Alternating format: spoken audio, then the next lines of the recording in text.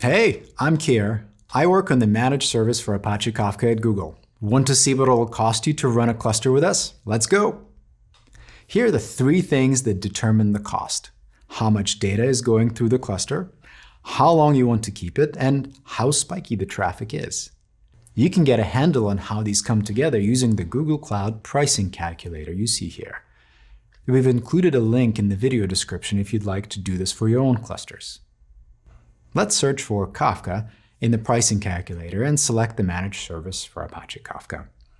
Now, we can add a managed Kafka cluster to our estimate. The most important thing for the cost of your cluster is how much data you write to it on average. This will determine how many CPUs you need, as well as how much storage and network you use. Let's pick this apart. Let's say that on average you produce and consume 10 megabytes a second. If you're using Kafka for application integration, say triggering some business logic when a database gets updated, this is substantial capacity. 10 megabytes a second is going to correspond to 100 to 1,000 messages a second. Storage duration will tell you how much storage space you'll need to use.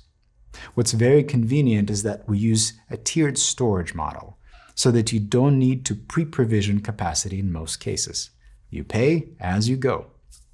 But it helps to know how much data you will actually store. That is just your average producer bandwidth times the storage duration. You already know the producer bandwidth, so you just need to set the duration. Not everything is about the average.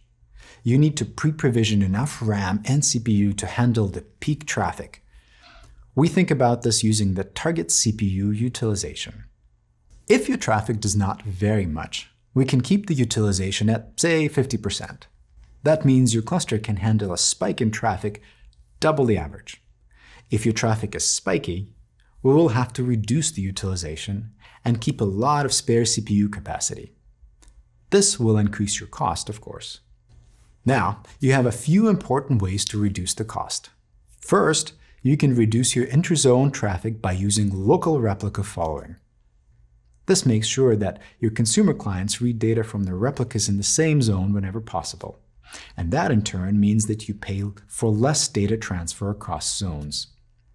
Second, you can save some money on CPU and RAM by buying committed use discounts for one year at 20% and three years at 40%.